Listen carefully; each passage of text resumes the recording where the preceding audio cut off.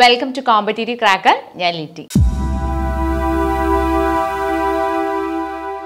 നമുക്കറിയാം ഇനി വരാൻ പോകുന്ന അധ്യാപക പരീക്ഷകളിൽ ഒന്നാണ് കേട്ടറ്റ് എന്ന് പറയുന്നത് അല്ലേ? Category one two three and four ഇതിനു വേണ്ടി നിങ്ങൾ എല്ലാവരും പ്രിപ്പയർ ചെയ്തുകൊണ്ടിരിക്കുന്ന സമയമാണ്. അപ്പോൾ കേട്ടറ്റ് കാറ്റഗറി ത്രീ നാച്ചുറൽ സയൻസിലെ കുറച്ച് ക്വസ്റ്റ്യൻസ് ആണ് നമ്മൾ ഇന്ന് ഡിസ്കസ് ചെയ്യാൻ പോകുന്നത്. ഹ്യൂമൻ ഫിസിയോളജി എന്ന് പറയുന്നതിൽ ഏറ്റവും ആദ്യം നമുക്ക് ന്യൂട്രീഷൻ ഇൻ ഹൈഡ്ര അമീബ അങ്ങനെ പറഞ്ഞിട്ട് കുറച്ച് ടോപ്പിക്സ് ഉണ്ട് അല്ലേ? അപ്പൊ അതിന്റെ അകത്ത് കുറച്ച് ക്വസ്റ്റ്യൻസ് ആണ് നമ്മൾ ഡിസ്കസ് ചെയ്യുന്നത്. അപ്പോൾ ഈ ക്വസ്റ്റ്യൻസ് എല്ലാം തന്നെ നിങ്ങൾക്ക് ഉപകാരമാകും എന്ന് കരുതുന്നു. അപ്പോൾ നമുക്ക് ചോദ്യങ്ങളിലേക്ക് കിടക്കാം. ഏറ്റവും ആദ്യത്തെ ചോദ്യമാണ് the cavity in the body of hydra is called options നമുക്ക് നോക്കാം. Coelom then coelenteron haemocoel and hydrocoel ഇപ്പോൾ ഓപ്ഷൻസ് ഏതൊക്കെയാണ് വന്നിരിക്കുന്നത്? Coelom coelenteron haemocoel and hydrocoel നമുക്കറിയാം ഒരു ചോദ്യത്തിന് നാല് ഓപ്ഷൻസ് വരും. ആ നാല് ഓപ്ഷൻസും നമ്മൾ ഡിസ്ക്രൈബ് ചെയ്ത നാല് ഓപ്ഷൻസും എന്താണെന്ന് പഠിക്കുകയാണെങ്കിൽ നമുക്ക് നാല് ചോദ്യമായി. നാല് ചോദ്യത്തിനുള്ള ഉത്തരവായി അല്ലേ? അപ്പോൾ ഇതിന്റെ ആൻസർ എന്ന് പറയുന്നത് the cavity in the body of hydra അല്ലേ? അതിന് നമ്മൾ ആൻസർ എന്ന് പറയുന്നത് സിലൻഡ്രോൺ ആണ്. ഓക്കെ എന്താ വരുന്നത്? സിലൻഡ്രോൺ ആണ് വരുന്നത്. ഓക്കെ സിലൻഡ്രോൺ ആണ് വരുന്നത്. ഇനി നമുക്ക് നോക്കാം അല്ലേ? സിലൻഡ്രോൺ എന്ന് പറയുന്നത് എന്താണ്? ഹൈഡ്രയുടെ ബോഡി ക്യാവിറ്റിക്ക് നമുക്ക് പറയുന്ന പേരാണ് സിലൻഡ്രോൺ സിലൻഡ്രോൺ മാത്രമാണോ ഇനി ബോഡി ക്യാവിറ്റിക്ക് പറയുന്ന പേര്? അല്ല വേറൊരു പേരും കൂടിയുണ്ട് അതെന്തായിരിക്കും ആ പേരെന്ന് പറയുന്നത്? നമുക്ക് നോക്കാം. ഓക്കെ ഓക്കെ ഹൈഡ്രയെ കുറിച്ച് നമ്മൾ കുറച്ച് കൂടുതൽ നോക്കുവാണെങ്കിൽ ഹൈഡ്ര എന്ന് പറയുന്നത് it belongs to genus of small fresh water organism ആണ്. It is having a sac like body with a central body cavity sac like ബോഡിയാണ് ഹൈഡ്രയിൽ വരുന്നത്. സെൻട്രൽ ബോഡി ക്യാവിറ്റി ഉണ്ട്. അതിന് നമ്മൾ പറയുന്ന പേര് ഗ്യാസ്ട്രോവസ്കുലാർ ക്യാവിറ്റി എന്നാണ്. അപ്പം നമ്മൾക്ക് ഇപ്പോൾ വന്ന ചോദ്യം ഏതാണ്? The central body cavity in hydra is called നമ്മൾ ഓപ്ഷൻ കൊടുത്തത് സിലൻഡ്രോൺ ആണ് അല്ലേ? അപ്പോൾ ഗ്യാസ്ട്രോവസ്കുലാർ ക്യാവിറ്റി എന്ന് മാത്രമല്ല അറിയപ്പെടുന്നത് അതിനെ നമ്മൾ സിലൻഡ്രോൺ എന്ന് കൂടെ വിളിക്കുന്നുണ്ട്. Okay gastrovascular cavity or coelenteron so the central body cavity found in hydra is called coelenteron or gastrovascular cavity അതെ ഇനി ഈ ക്യാവിറ്റി എന്ന് പറയുന്നത് this cavity extend to a system of canals ആണ് ഓക്കെ ഈ സിലിൻഡ്രോൺ എന്ന് പറയുന്നത് it is extending to a system of canals okay ഇത് പിന്നെ അതിന്റെ കണ്ടിന്യൂവേഷൻ എന്ന് പറയുന്നത് എങ്ങനെയാണ്? സിസ്റ്റം ഓഫ് കെനാൽസ് ഓക്കെ അപ്പോൾ ഇത്രയാണ് സിലൻഡ്രോണിൽ പറയുന്നത് നമ്മൾ ഹൈഡ്രയിൽ കൂടുതൽ നോക്കുവാണെങ്കിൽ നോക്കിക്കേ ഇതിന് ഒരു ഗ്യാസ്ട്രോവസ്കുലാർ ക്യാവിറ്റി. നമ്മളിപ്പോൾ പറഞ്ഞ coelenteron the body cavity found inside the hydra or found in hydra എന്ന് പറയുന്നത് ഈ ഗ്യാസ്ട്രോവസ്കുലാർ ക്യാവിറ്റിയാണ്. ഇതിന് നമ്മൾ പറയുന്ന പേരാണ് ഇപ്പം നമ്മൾ ഡിസ്കസ് ചെയ്തത് സിലൻഡ്രോൺ അല്ലേ? ഒരു ഈ കൂടെ വരും. ഓക്കെ സിലൻഡ്രോൺ എന്ന് പറയും അല്ലേ? ഇപ്പം സിലൻഡ്രോൺ എന്ന് പറയും. ഈ gastrovascular cavity it is otherwise known coelenteron എന്ന് പറയും. പിന്നെ എന്തൊക്കെയുണ്ട്? അല്ലേ ഫുഡ് അല്ലേ? ഫുഡിന് എന്റർ ചെയ്യുന്നുണ്ട്. അതേപോലെ തന്നെ വേസ്റ്റ് ഇതിനൊക്കെ എന്താണ് ഈ ഒരു അല്ലേ? ഈ ഒരു മെക്കാനിസം ആണ് വരുന്നത്. ഇനി ഈ സിലൻഡ്രോൺ എന്ന് പറയുന്നത് മിനി കനാൽസിലേക്കാണ് അല്ലേ? ഏതൊക്കെയാണ്? ഫുഡ് വരുന്നുണ്ട് വേസ്റ്റ് പോകുന്നുണ്ട്. ദെൻ അവരുടെ മൗത്ത് ഉണ്ട് അല്ലേ? മൗത്ത് വരുന്ന പോർഷനാണ് കൊടുത്തിരിക്കുന്നത്. ദെൻ ടെൻഡക്കൾസ് ഉണ്ട് അല്ലേ? ഒരുപാട് ടെൻഡക്കൾസ് ഉണ്ട്. നമുക്കറിയാം നമ്മൾ ഡിഫറെന്റ് ഫൈലംസ് പഠിക്കുന്നുണ്ട് അല്ലേ? ഇപ്പോൾ കോർഡേറ്റ നോൺ കോർഡേറ്റ നിങ്ങൾ പഠിച്ചിട്ടുണ്ടാകും. അതിന്റെ അകത്ത് തന്നെ നമ്മൾ കോമൺ ഓപ്പണിംഗ് ആയിട്ടുള്ളത് ക്ലോയാക്കൽ നമ്മൾ പഠിച്ചിട്ടുണ്ട് ക്ലോയാക്ക എന്ന് പറയുന്നത് അല്ലേ? അതേപോലെ തന്നെ ഇവർക്ക് എങ്ങനെയാണ് food is coming through the mouth and waste is also going through the mouth അല്ലേ? എക്സാക്ട്ലി സോ ഇത്രയാണ് സിലൻഡ്രോൺ അല്ലെങ്കിൽ നമ്മൾ ഹൈഡ്രയെ കുറിച്ച് അല്ലെങ്കിൽ ഹൈഡ്രയുടെ കൂടുതൽ ആ സിലൻഡ്രോണിന്റെ കുറച്ചൊന്ന് ഓപ്ഷൻ നമ്മളൊന്ന് എക്സ്പ്ലെയിൻ ചെയ്ത് നോക്കുമ്പോൾ നമുക്ക് കിട്ടുന്നത് body cavity in hydra okay ഇനി ഈ ബോഡി ക്യാവിറ്റി ഇൻ ഹൈഡ്ര നമ്മൾ അതിനെ ഗ്യാസ്ട്രോവസ്കുലാർ ക്യാവിറ്റി അല്ലെങ്കിൽ ഗ്യാസ്ട്രോവസ്കുലാർ ക്യാവിറ്റി അതല്ലെങ്കിൽ സിലൻഡ്രോൺ എന്ന് പറയുന്നു. ഈ ഹൈഡ്ര എന്ന് പറയുന്നത് it is commonly known as blind gut അല്ലെങ്കിൽ ബ്ലൈൻഡ് സാക്ക് എന്ന് പറയുന്നു. കാരണം ഏ ആ മൗത്ത് നമ്മൾ പറഞ്ഞു ക്ലോയാക്കൽ എന്ന് പറഞ്ഞു അല്ലേ? ക്ലോയാക്ക ഓപ്പണിംഗ് എന്ന് പറഞ്ഞു.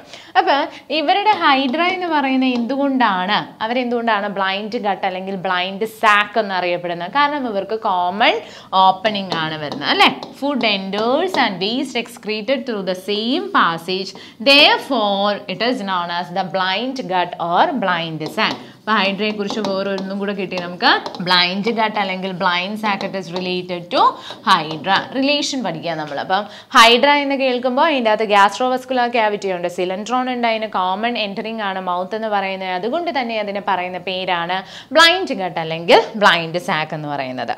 ഓക്കെ അപ്പോൾ ഇത്രയും പോയിന്റ്സ് നമുക്ക് കിട്ടി. ഇനി എന്താണ്? റേഡിയലി സിമെട്രിക്കൽ ആണ്. With an adhesive foot called the basal disc okay അപ്പം ഹൈഡ്രയിൽ വരുന്ന വേറൊരു ഫീച്ചറാണ് ഇറ്റ് ഈസ് റേഡിയലി സിമെട്രിക്കൽ രണ്ട് ടൈപ്പ് ഓഫ് സിമെട്രിയാണ് നമ്മൾ ആനിമൽ കിങ്ഡത്തിന്റെ അകത്ത് നോക്കുമ്പോൾ രണ്ട് കൈൻഡ് ഓഫ് സിമെട്രി അല്ല. സോ അല്ല ഉള്ളത് അല്ലേ? ഇപ്പം രണ്ട് കൈൻഡ് ഓഫ് സിമെട്രിയാണ് റേഡിയൽ സിമെട്രിയും വരുന്നുണ്ട് ബൈലാട്രൽ സിമെട്രിയും വരുന്നുണ്ട്. ബൈലാട്രൽ സിമെട്രിയിൽ നമുക്കൊരു ഈക്വൽ ഹാഫ്സ് കിട്ടുന്നുണ്ട് അല്ലേ? ഒരു റൈറ്റ് ആൻഡ് ലെഫ്റ്റ് പെയർ നമുക്ക് ഫോം ചെയ്യുന്നുണ്ട്. മിറർ ഇമേജ് പോലെ റേഡിയൽ സിമെട്രിയിൽ അതില്ല. We can divide the body portion അല്ലെങ്കിൽ we can divide the object into two അല്ലേ? സോ ഹൈഡ്ര എന്ന് പറയുന്ന radially symmetrical with an adhesive foot അവർക്ക് വരുന്നുണ്ട് ബേസൽ ഡിസ്ക് ഓക്കെ ക്ലിയർ ആണ് എന്ന് വിചാരിക്കുന്നു. At the opening of the mouth ഇപ്പം നമ്മൾ കണ്ട ആ ടെൻഡക്കൽസ് ഉണ്ട് അല്ലേ? ടെൻഡക്കൽസ് ഉണ്ട്. അത് എന്താണ്? Which secrete chemicals to capture the brain ഇപ്പം നമ്മൾ പിക്ചർ ഒന്നുകൂടി ഒന്ന് ബാക്ക് നമ്മൾ നോക്കുവാണെങ്കിൽ നമുക്ക് കാണാം. ഓക്കെ നോക്കിക്കേ. ഇവിടെ ഒരുപാട് ടെൻഡക്കൾസ് ഉണ്ട് അല്ലേ? നോക്കിക്കേ എത്ര tentacles three four and five അല്ലെ? ഫൈവ് ടെൻഡക്കിൾസ് ആണ് അവിടെ കാണിക്കുന്നത്. ആ ഫൈവ് ടെൻഡക്കിൾസിന്റെയും പ്രാധാന്യം എന്താണ്? ആ ഫൈവ് ടെൻഡക്കിൾസും സിക്രീഷൻസ് ഉണ്ട്. എന്തിനു വേണ്ടിയിട്ടാണ്? ആ കെമിക്കൽസ് പ്രേ ക്യാപ്ചർ ചെയ്യാൻ വേണ്ടിയിട്ടുള്ളതാണ് അതിനുള്ളത്. ഓക്കെ അവർക്ക് ഒരു ബേസൽ ഫൂട്ട് ഉണ്ടെന്ന് നമ്മൾ പറഞ്ഞു. അപ്പോൾ ഇത്രയും കാര്യങ്ങൾ ഓർത്തിരിക്കുക. നമ്മളിപ്പോൾ പറഞ്ഞ ക്വസ്റ്റ്യൻ ആയിട്ട് റിലേറ്റഡ് ആയിട്ട് വരുന്ന കുറച്ച് കാര്യങ്ങളാണ്. അതെ അടുത്തതായിട്ട് ഡിപ്ലോബ്ലാസ്റ്റിക് ആണ് രണ്ട് ബോഡി ലെയേഴ്സ് വരുന്നുണ്ട്. ഒന്ന് എപ്പിഡെർമിസും ഗ്യാസ്ട്രോഡെർമിസും ഔട്ടർ ലെയർ എപ്പിഡെർമിസ് ആണ് ഗ്യാസ്ട്രോഡെർമിസ് ആണ് ഇന്നർ ലെയർ എന്ന് പറയുന്നത്. ഓക്കെ രണ്ട് ലെയർ ആണ് ഹൈഡ്രയിൽ വരുന്നത്. ഏതൊക്കെയാണ്? എപ്പിഡെർമിസ് ഔട്ടർ ലെയർ എന്ന് പറയും. ഗ്യാസ്ട്രോഡെർമിസ് നമ്മൾ ഇന്നർ ലെയർ എന്ന് കൊടുത്തു. ഓക്കെ ഇനി ഗ്യാസ്ട്രോ ഡെർമിസ് എവിടെയാണ് എവിടെയാണ് ഉള്ളത്? സ്റ്റൊമക് റീജിയനിലുള്ളതാണ് ഗ്യാസ്ട്രോഡെർമിസ് ഓക്കെ ഇന്നർ ലയർ എന്ന് പറയുന്നത് സ്റ്റൊമക് റീജിയനിലാണ് വരുന്നത്. ഇനി ഇവരുടെ എക്സ്ട്രാ സെല്ലുലാർ ഡൈജഷൻ എന്ന് പറയുന്നത് it takes place inside the central cavity of the satellite body എന്താ സെൻട്രൽ ക്യാവിറ്റി സിലിൻഡ്രോൺ ആണ് അല്ലേ? അതിലാണ് നമ്മൾ ഈ ക്വസ്റ്റ്യൻ സ്റ്റാർട്ട് ചെയ്തത്. The process of respiration and excretion occurs through diffusion ആണ് through which surface that is epidermal surface ഏതാണ് വരുന്നത്? Epidermal surface okay through epidermal surface okay through epidermal surface ഇനി എന്താണ്? ലാർജർ വേസ്റ്റ് പ്രോഡക്ട്സ് ആണെങ്കിലോ അത് mouth വഴിയായിരിക്കും excrete ചെയ്യുന്നത്. അപ്പം എക്സ്ക്രീഷന് ഡിഫ്യൂഷനും വരുന്നുണ്ട് ബട്ട് ലാർജ് വേസ്റ്റ് പ്രോഡക്ട്സ് ആണെങ്കിൽ അത് മൗത്ത് വഴി തന്നെ എക്സ്ക്രീറ്റ് ചെയ്തു പോകും. ഓക്കെ ഇനി അടുത്ത ചോദ്യമാണ് വരുന്നത്. അപ്പോൾ നമ്മൾ ഇത്രയും പഠിച്ചത് ഏതാണ്? ഹൈഡ്രേല ഉള്ളതാണ് അല്ലേ? ഹൈഡ്രേല പ്രോസസ്സാണ് നമ്മളിപ്പോൾ പഠിച്ചത്. ഹൈഡ്രേല ആ സെൻട്രൽ ക്യാവിറ്റിക്ക് പറയുന്ന പേരാണ് സിലൻഡ്രോൺ അല്ലെങ്കിൽ ഗ്യാസ്ട്രോവസ്കുലാർ ക്യാവിറ്റി എന്നുള്ളത്. ഓക്കെ അപ്പം അത്രയും കാര്യങ്ങൾ ക്ലിയർ ആയല്ലോ. ഇനി അടുത്തതാണ് പറയുന്നത് which animal has nerve cell but not brain okay ഏത് ആനിമലിനാണ് നെർവ് സെല്ലുണ്ട് പക്ഷെ ബ്രെയിൻ ഇല്ലാത്തത്? Amoeba hydra sponge and cockroach ഏതിനായിരിക്കും nerve സെല്ലുണ്ട് പക്ഷെ ബ്രെയിൻ ഇല്ലാത്തതെന്ന് പറയുന്നത്? ഇതൊക്കെയാണ് amoeba hydra sponge and cockroach obviously ഇതിനാണ് ആൻസർ വരുന്നത്? ഹൈഡ്രയാണ് okay so hydra is an organism which is having a nerve cell but not brain okay ഇനി അപ്പം ഇതിന്റെ അകത്ത് എന്തായിരിക്കും? നമുക്ക് നോക്കാം. ഹൈഡ്രയ്ക്ക് നെർവ് സെൽസ് ഉണ്ട് but it lacks brain okay അപ്പോൾ ഈ ഹൈഡ്ര എന്ന് പറയുന്നത് നമുക്കറിയാം സീലൻഡ്രേറ്റ് അല്ലെങ്കിൽ നിഡേറിയൻസിൽ നിഡേറിയൻസിലെ മെമ്പേഴ്സ് ആണ് അല്ലേ? Coelenterate it is otherwise termed as the cnidarians അല്ലേ അതിന്റെ നെർവസ് നെർവ് സെൽസ് അല്ലേ? എന്റെ നെർവസ് സിസ്റ്റം എന്ന് പറയുന്നത് it is made up of nerve cells and all the activities are taking place inside that nerve cells okay it is not having a brain എന്തുകൊണ്ടാണ് lower kind of organisms ആണ് വരുന്നത് അല്ലേ phylum നോക്കുകയാണെങ്കിൽ phylum porifera then coming the coelenterata or cnidarians അപ്പോൾ അതിന്റെ അകത്താണ് വരുന്നത്. Higher അങ്ങോട്ടേക്ക് പോകുമ്പോഴാണ് നമുക്കറിയാം അസിലോമേറ്റിൽ നിന്ന് സീലോമേറ്റിലേക്ക് വരുന്നു. സ്യൂഡോ സീലോമേറ്റിൽ നിന്ന് സീലോമേറ്റിലേക്ക് പോകുന്നു. അത്രയും ഹയർ കോംപ്ലക്സ് ആയിട്ടുള്ള ബോഡി സ്ട്രക്ചർ ഹയർ കാറ്റഗറീസിലേക്കാണ് വരുന്നത്. അതുകൊണ്ട് ലോവർ ഓർഗാനിസമായ ഹൈഡ്രയിൽ സിലൻഡ്രയിൽ അല്ലെ സിലൻഡ്രേറ്റയിൽ എന്തില്ല അവർക്ക് ബ്രെയിൻ ഇല്ല but they are having the nervous cells in hydra okay ഇനി സെൻസറി സെൽസ് ഉണ്ട് but the brain is not okay sensory cells are also there but the brain is not there okay so ഇത്രയാണ് ഇതിന്റെ features ആയിട്ട് വരുന്നത്. ഹൈഡ്രയുടെ nervous cells ഉണ്ട് പക്ഷെ brain ഇല്ല എന്നുള്ളതിന് വരുന്നത്. ഇനി സ്പോഞ്ചസിലും ഇപ്പോൾ സ്പോഞ്ചസ് നമ്മൾ കൺസിഡർ ചെയ്യുകയാണെങ്കിൽ sponges also do not have a neurological system അവർക്ക് ന്യൂറോളജിക്കൽ സിസ്റ്റം വരുന്നില്ല. പക്ഷേ ഈ ന്യൂറോളജിക്കൽ സിസ്റ്റം ഓഫ് എർത്ത് വേമിന്റെയും അതേപോലെ തന്നെ കോക്രോച്ചിലും അവർക്കൊരു സർക്കം സെന്റർ നെർവ് റിംഗ് ഉണ്ട്. ഒരു solid double mid ventral nerve കോഡാണ് അതിലെന്താണുള്ളത്? ഗാംഗ്ലിയ ഓക്കെ അപ്പോൾ അവർക്ക് എന്ത് പ്രസൻസ് ഉണ്ട്? ഗാംഗ്ലിയയുടെ പ്രസൻസ് വരുന്നുണ്ട്. ഓക്കെ ഏതിലാണ്? എർത്ത് വേമിന്റെയും കോക്രോച്ചിലും അവർക്ക് എന്ത് വരുന്നുണ്ട്? ഗാംഗ്ലിയയുടെ പ്രസൻസ് വരുന്നുണ്ട്. ഓക്കെ അതുകൊണ്ട് തന്നെ ആനിമൽ അല്ലെ nerve cell is present but brain is absent in hydra അതുകൊണ്ട് നമുക്ക് പറയാൻ പറ്റും. എന്താണ്? ഈ ഒരു കാരണം കൊണ്ട് മാത്രമല്ല നമുക്ക് ബ്രെയിൻ ഇല്ല അല്ലെങ്കിൽ നെർവ് സെൽ ഉണ്ടെന്ന് പറയുന്നത് ലോവർ ഓർഗാനിസം ആണ്. ആ ഒരു എക്സ്പ്ലനേഷനാണ് ശരിക്കും പോകുന്നത് അല്ലേ? ഹൈഡ്രയിൽ വരുമ്പോൾ അവരുടെ ടെൻഡക്കൽസ് സെയിം മൗത്ത് തന്നെയാണ്. അതുകൊണ്ട് തന്നെ അവരുടെ ബോഡി സ്ട്രക്ചർ എന്ന് പറയുന്നത് അത്രയും ഹൈലി ഡെവലപ്ഡ് അല്ല. അപ്പോൾ ഇങ്ങനെയുള്ള റീസൺസ് കൊണ്ടാണ് നമ്മൾ ഹൈഡ്രയ്ക്ക് നെർവ് സെൽസ് ഉണ്ട് but they are lacking the brain എന്ന് പറയുന്നത്. അടുത്ത ചോദ്യം നമുക്ക് നോക്കാം. Which structures in hydra are functionally similar to pseudopodia of amoeba ഏത് സ്ട്രക്ചറാണ് options nematocysts hypostomes tentacles and stinging cells ഇപ്പം നമ്മൾ പറഞ്ഞായിരുന്നു അല്ലേ? ആദ്യത്തെ നമ്മൾ ആ ഹൈഡ്രയുടെ പടം കാണിച്ചപ്പോൾ തന്നെ നമ്മൾ പറഞ്ഞു അതിന് ഒരുപാട് ടെൻഡിക്കൽസ് ഉണ്ട് മൗത്ത് പോർഷൻസിൽ അവർ കുറേ കെമിക്കൽസ് സെക്രീറ്റ് ചെയ്യുന്നുണ്ട്. അതെന്തിനു വേണ്ടിയിട്ടായിരുന്നു? പ്രീ ക്യാപ്ചറിങ്ങിന് വേണ്ടിയിട്ടാണ് അല്ലേ? പ്രേ ക്യാപ്ചറിങ്ങിന് വേണ്ടിയിട്ടാണെന്ന് തോന്നുന്നു. സ്യൂഡപ്പോഡി എന്തിനു വേണ്ടിയാണ് അമീബയിൽ വരുന്ന ലോക്കമോഷൻസ് ആണ് വരുന്നത്.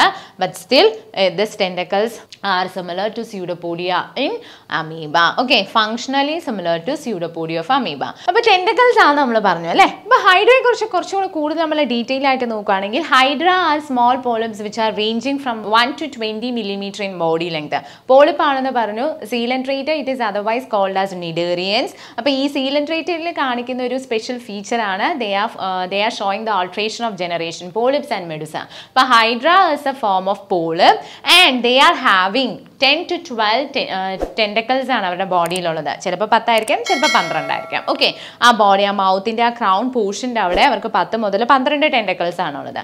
ഇനി ഈ ടെൻഡക്കൽസിന്റെ പ്രത്യേകത എന്താണ്? ടെൻഡക്കൽസിന് ഇവരുടെ ബോഡിയുടെ അത്രയും തന്നെ ലെങ്ത് ആണ്. ചില സമയങ്ങളിൽ മാത്രം ഷോർട്ടർ ആകാം. ഓക്കെ ദെൻ ടെൻഡക്കൽസ് എന്ന് പറയുന്നത് ടെൻഡക്കൾസിന് നിഡോ ബ്ലാസ്റ്റുകൾ ഉണ്ട് coelenterate are otherwise termed as cnidarians because they are having the presence of cnidoblast or stinging cells ഉണ്ട് അല്ലേ?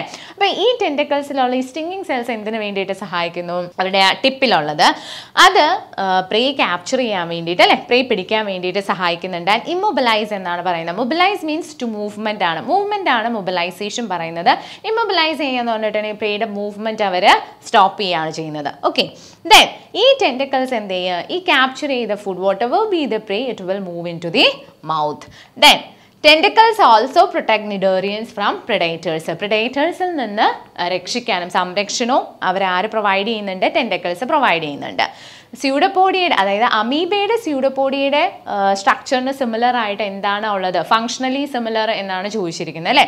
ഏതാണ് വരുന്നത്? ടെൻഡക്കൽസ് ആണ് വരുന്നത്. അവിടെ ലോക്കോമോഷൻ ആണെങ്കിൽ ഇവിടെയും എന്തുണ്ട്? ലോക്കോമോഷൻ പ്ലസ് പ്രേ ക്യാപ്ചറിങ്ങിനെ സഹായിക്കുന്നുണ്ട് അല്ലേ? സ്യൂഡപ്പോഡിയും അങ്ങനെ തന്നെയാണ്. അവരെ മൂവ്മെന്റിന് സഹായിക്കുന്നുണ്ട് അല്ലേ? ഇനി ഹൈഡ്രയുടെ വേറൊരു ക്വസ്റ്റൻ ആണ് വരുന്നത്. ഡൈജഷൻ ഓഫ് ഫുഡ് എന്ന് പറയുന്നത് ഇൻട്രാ സെല്ലുലാർ ആണോ? എക്സ്ട്രാ സെല്ലുലാർ ആണോ? Partially intracellular and extracellular ആണോ? അതോ നൺ ആണോ? വീണ്ടും ആൻസർ ഏതായിരിക്കും വരുന്നത്? ഇൻട്രാ സെല്ലുലാർ ആണ്. ഹൈഡ്രയിലെ ഡൈജഷൻ ഓഫ് ഫുഡ് എന്ന് പറയുന്നത്. ഓക്കെ ഡൈജഷൻ ഇൻട്രാ സെല്ലുലാർ ആണ്. ഈ ട്രാപ്ഡ് ഫുഡ് എന്ത് ചെയ്യും? അതിന്റെ സെൻട്രൽ ക്യാവിറ്റി ഉണ്ട്. നമ്മൾ പറഞ്ഞു ഗ്യാസ്ട്രോവസ്കുലാർ ക്യാവിറ്റി അല്ലെങ്കിൽ സിലൻഡ്രോൺ അവിടെ എൻസൈംസ് സെക്രീറ്റ് ചെയ്യുന്നുണ്ട്. അവിടെയാണ് ഡൈജഷൻ നടക്കുന്നത്. ഓക്കെ ഈ ടെൻഡക്കൽസിന്റെ സഹായത്തോടെ ക്യാപ്ചർ ചെയ്യുന്ന പ്രേ എങ്ങോട്ട് മൂവ് ചെയ്യുകയാണ് ചെയ്യുന്നത്? ഗ്യാസ്ട്രോവസ്കുലാർ ക്യാവിറ്റി അല്ലെങ്കിൽ സിലൻഡ്രോണിലേക്ക് മൂവ് ചെയ്യും. അവിടെ അവർ എന്ത് പ്രൊഡ്യൂസ് ചെയ്യുന്നുണ്ട്? സെക്രീറ്റ് ചെയ്യുന്നുണ്ട്. എൻസൈംസ് സെക്രീറ്റ് ചെയ്യുന്നുണ്ട് അല്ലേ?